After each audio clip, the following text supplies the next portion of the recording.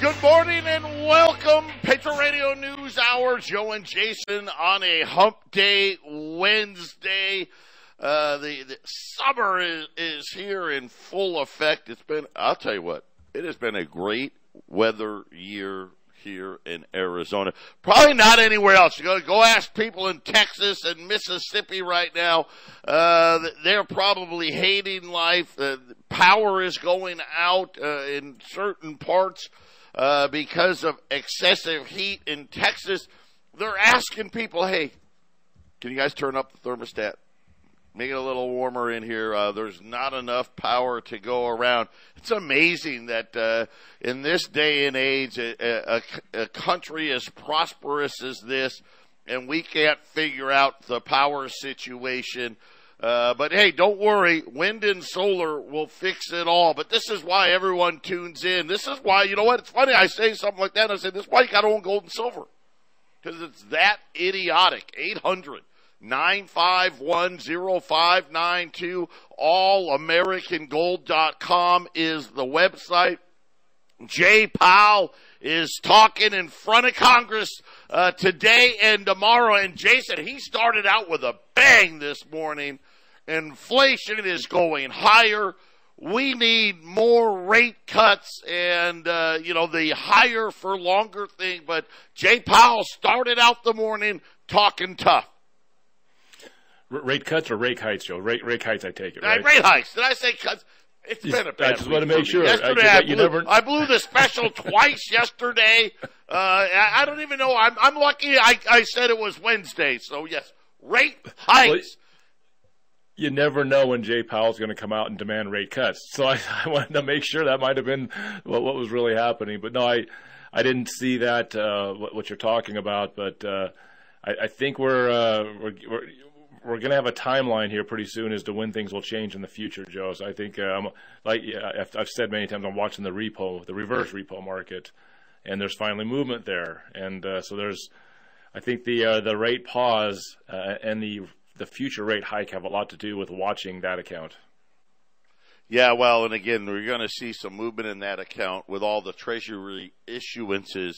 Uh, these banks got to pick up the slack, so they're going to have to have less money uh, sitting at the Federal Reserve. Of course, this is what got them in the in in trouble in the first place.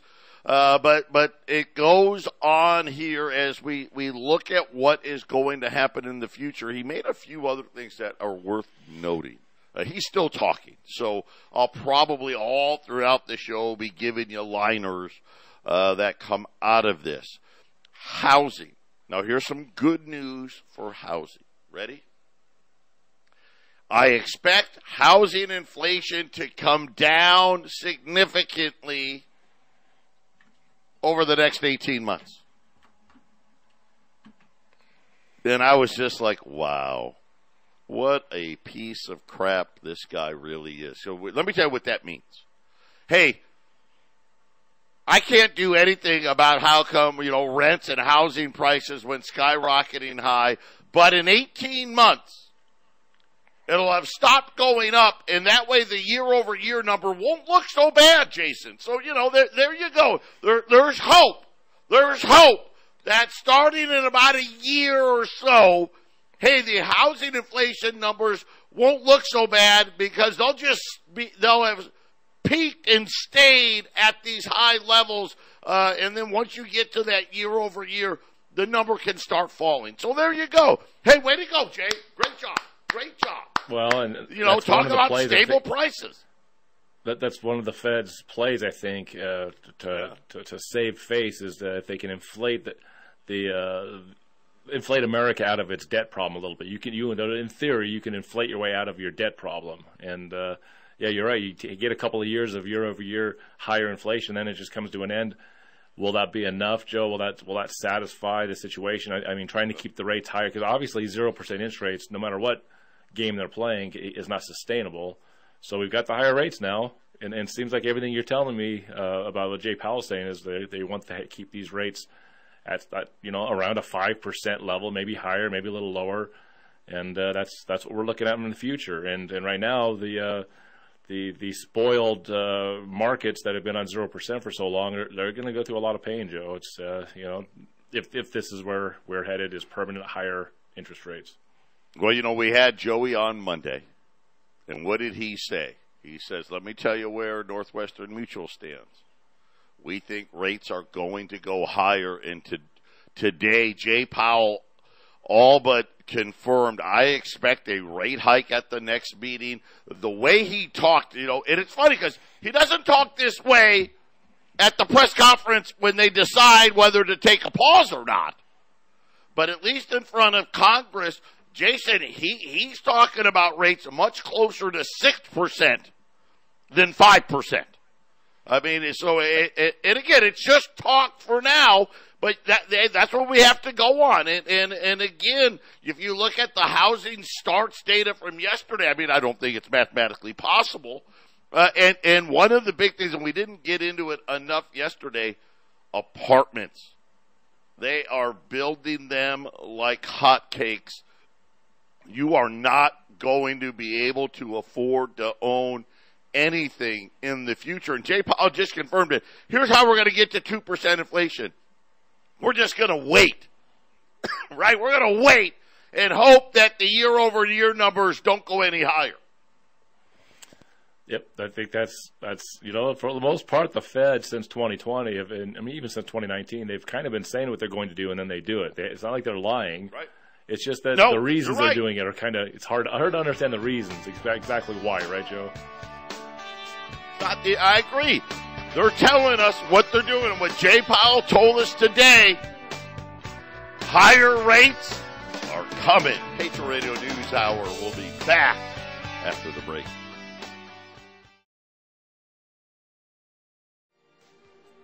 Eight hundred nine five one zero five nine two. Joe and Jason, Patriot Radio News Hour. Quick look here at the markets. Uh, the Dow is down again today. Uh, you know, Jay Powell, higher rates. Uh, but off the lows right now, down 50. The S&P is down 25. The Nasdaq's down 200. Uh, gold's down three at 1932. Silver's down 40 cents. By the way, a great silver item coming up below cost today. Uh, but silver is down this morning. The 10 year note uh, 378. So uh, Wall Street doesn't want to buy it too much. Uh, but the realities are, it looks like rates are heading higher. But again, if you're tired of this, if you're tired of w- listening to uh, Jay Powell, the bankers telling you how much they care about you, but not doing anything to help you. Uh, if you're tired of, of watching, you know, listen, what, are we, three straight years now? And we've had some ups and downs, but three straight years where Wall Street's done nothing.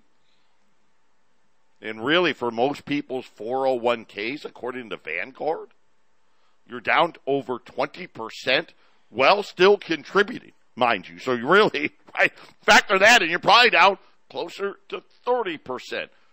Check out a different way. InvestYRefy.com uh, up to 10.25% returns. This is all in the private student debt default market. So this is not the government debt forgiveness debt stuff. So a lot of people don't know, uh, and I didn't know. Uh, you know, I, I, you know, I have two boys in college. They, we, we, were, we are fortunate enough they, they don't have loans. But there's two types of loans. You get the government loans. The government will only give you $5,000. And I say only. That's a lot of money, but that's all you get.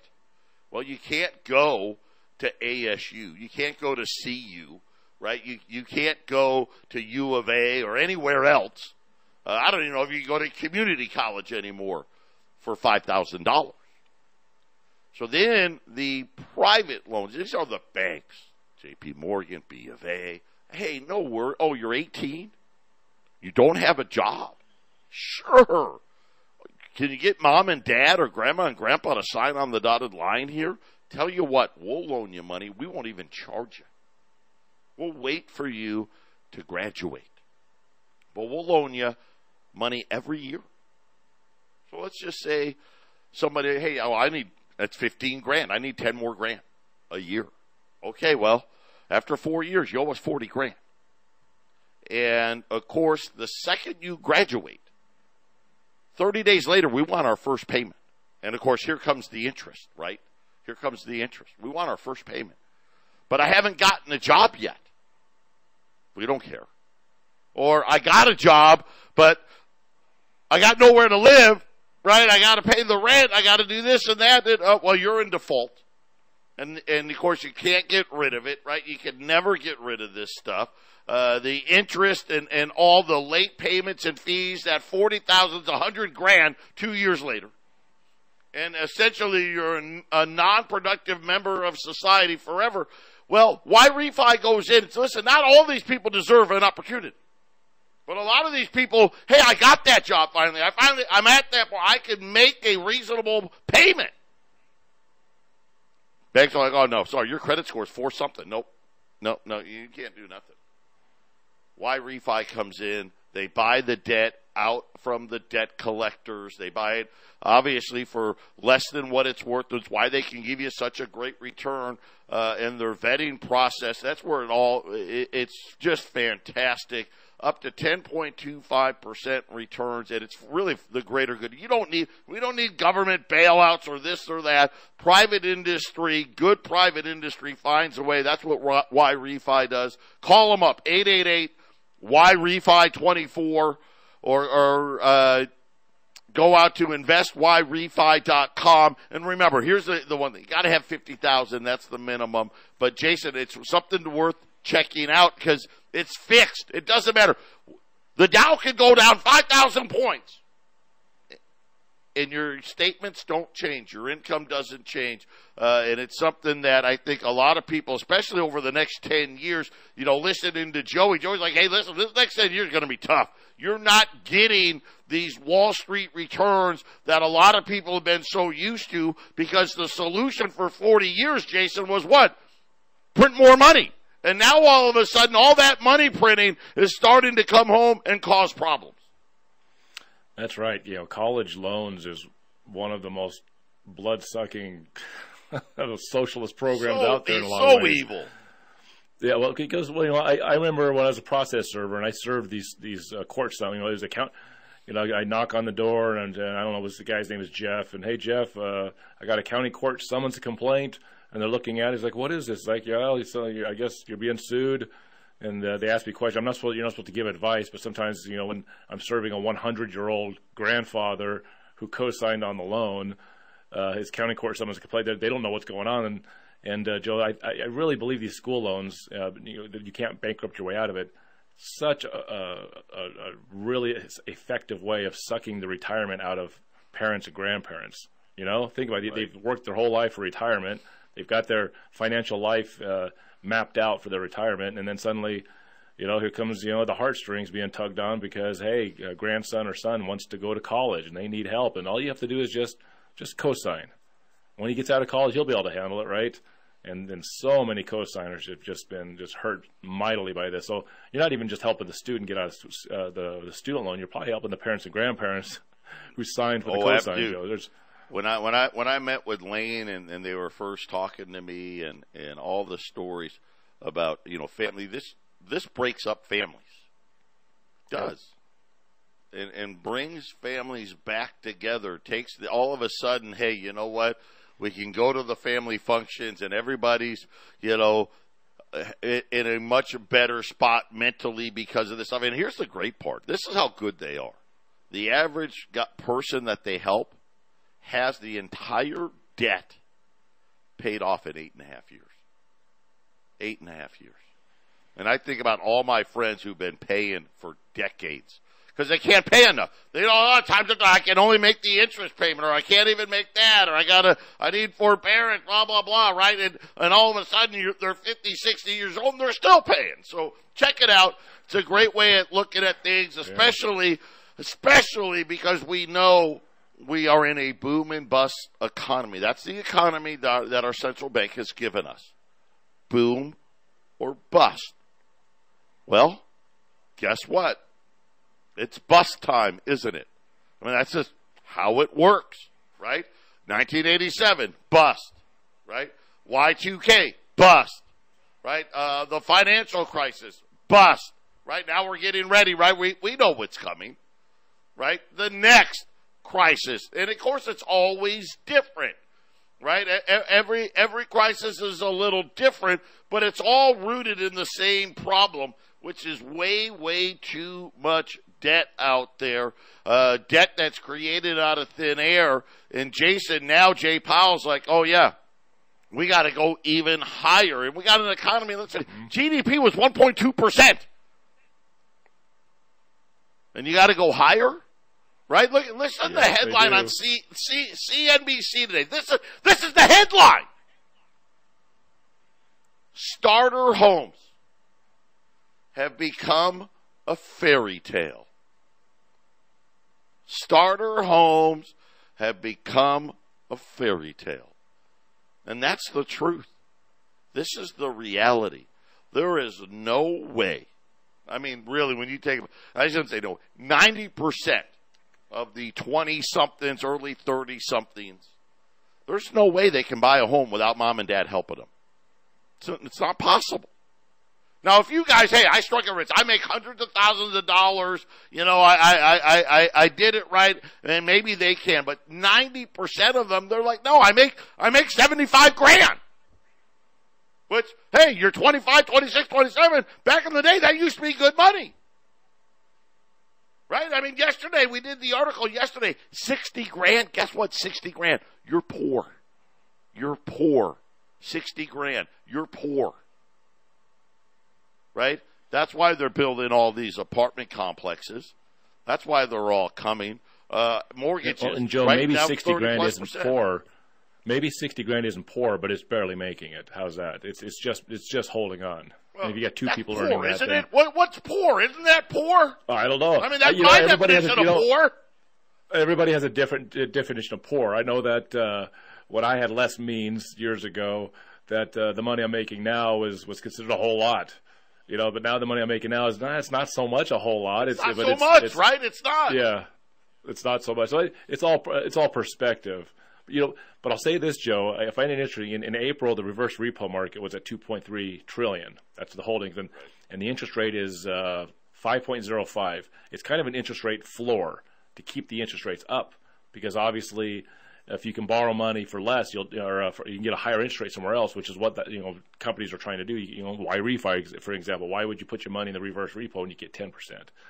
So when that money starts bleeding off that sheet, that's a very clear indication. If they want to keep keep lower interest rates from popping back into the market, they can use the reverse repo as, as a uh, indication that they need to uh, raise the interest rate. So now down three hundred billion dollars Joe, I, I really feel as long as they want to keep interest rates uh, uh, at a certain level, they'll, you know, the reverse repo goes up every time they put the rate hikes higher. So I, think that's really the fuse. If you want to see the rate hikes stop and you want to see them come down, that that account has to be empty. They'll essentially be emptying or emptying very quickly before they'll go below where they're at. So here they are. They paused, right? Some money's coming out of there pretty quickly oh, raise the interest rates, and that'll stop the bleeding from that account because that's you know that's what's going to fund the government, right, Joe? This is how the government's going to get their monies out of this account because the Fed's not giving it to them directly right now.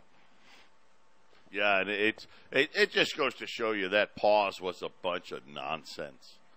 Right? It's a good barometer, it, though. It's a good way to look at what, what happens right? to that reverse repo. It's yep, going down. Yep.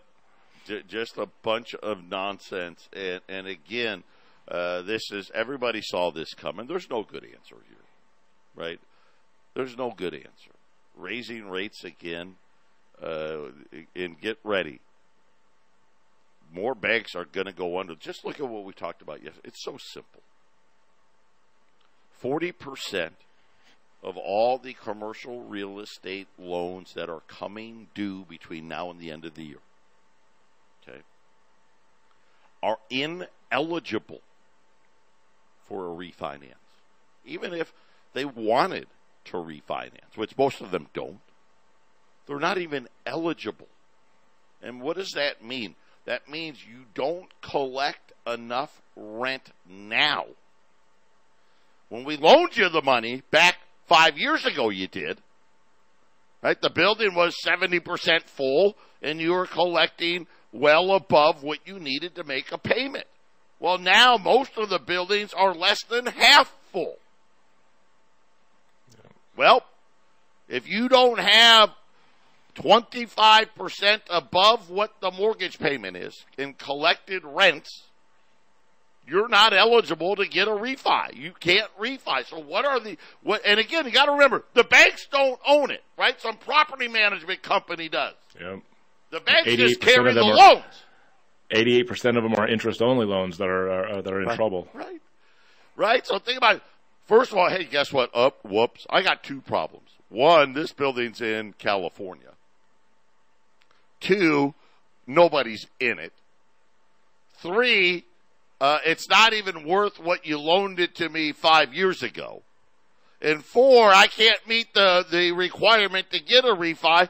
Th- those those just get handed right back. And Jason, there's a tidal wave of that coming, and with higher interest rates, all of a sudden now these banks are going to need more capital, whether you pull your deposits or not. They need more capital. Oh, I got losses. Yeah. 800 951 0592 when we get back. As promised yesterday, a silver item supply. I would just say this is going to be limited, so be ready.